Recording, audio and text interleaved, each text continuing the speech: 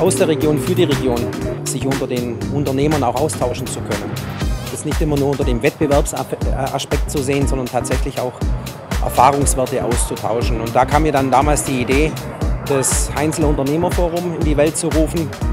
Tolle Vorträge, informative Vorträge, aber auch das Netzwerk auf Schwäbisch gesagt, miteinander schwätzen, äh, unterzubringen. Und das ist eigentlich der Erfolg des Heinzel Unternehmerforums.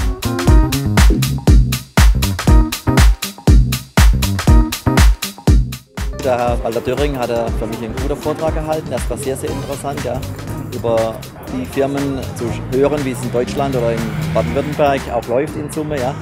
Und äh, vor allem hat mir gefallen, dass halt gerade Baden-Württemberg sehr innovative Firmen hat. Ja.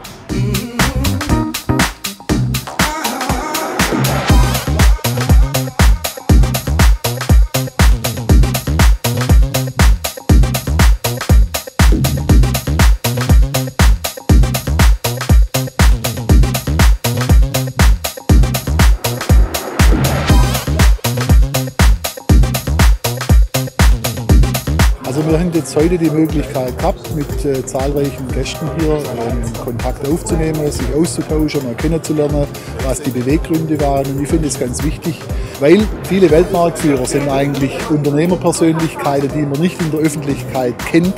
Und wie willst du sie kennenlernen, wenn du nicht mit ihnen äh, über solche Wege in Kontakt treten kannst?